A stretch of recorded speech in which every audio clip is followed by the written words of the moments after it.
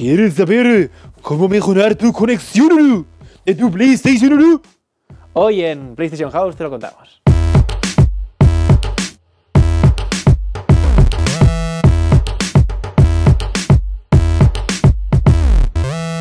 ¿Qué tal chicos? ¿Cómo estáis? Soy Tony y os doy la bienvenida a la PlayStation House.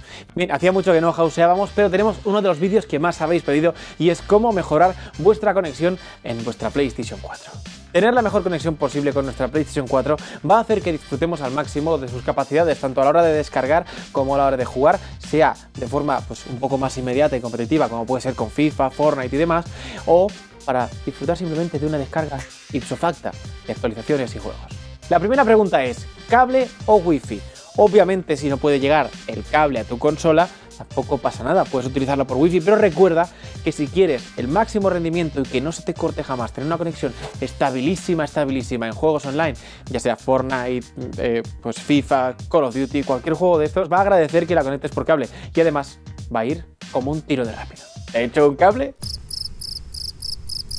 Ahora os voy a enseñar cómo configurar vuestra conexión a internet. Tanto si tu conexión es por Wi-Fi o por cable, el siguiente paso será hacer una prueba de conexión para comprobar el rendimiento.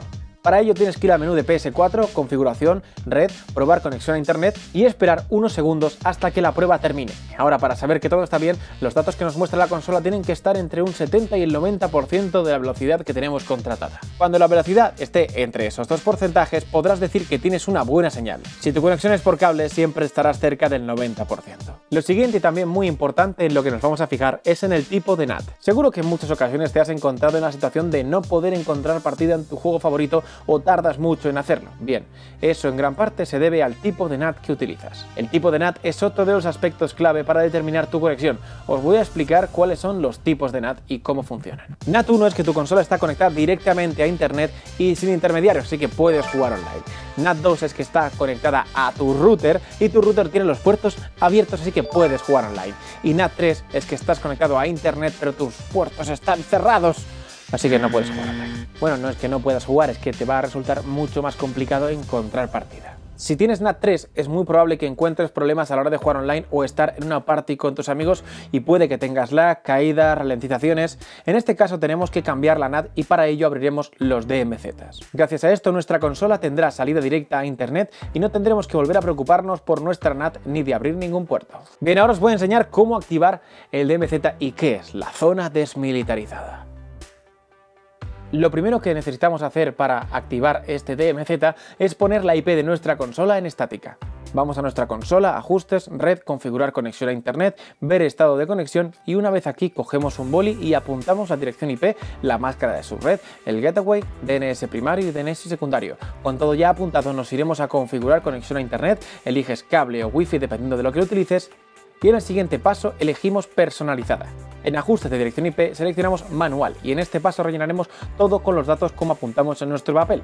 Cuando terminamos le damos a siguiente, MTU en automático, en proxy pulsamos en no usar y ya tendríamos configurada nuestra IP en estática. Ahora vamos a coger nuestra IP y la vamos a meter en esa zona desmilitarizada. Bien, ¿qué tenemos que hacer?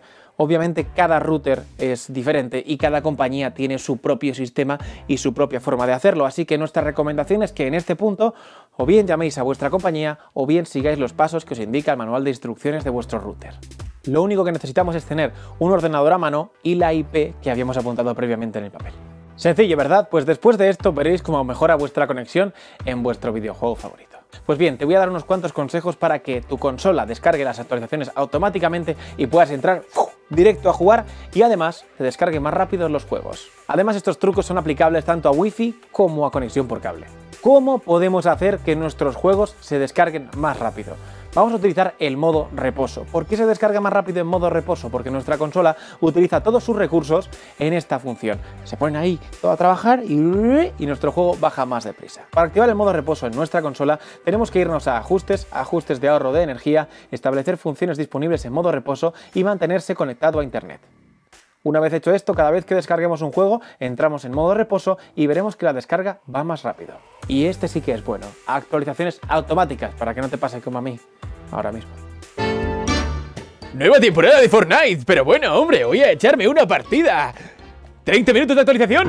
¡No! Para esto volvemos a ajustes, sistema y activamos descargas automáticas y archivos de actualización de la aplicación. De este modo se descargarán también las actualizaciones. A partir de ahora yo tendré siempre la consola en modo reposo, así cuando vaya a jugar no me vuelve a pasar lo que me acaba de pasar. Hasta aquí el vídeo chicos, espero que os haya gustado. Si tenéis alguna duda, cualquier tutorial que queréis que hagamos, cómo se hace X, Y o Z, cualquier cosa, lo dejáis abajo en los comentarios, suscribíos si no lo estáis. Soy Toy si me podéis seguir en Twitter, en Instagram, me podéis seguir por la calle. Esto es PlayStation House.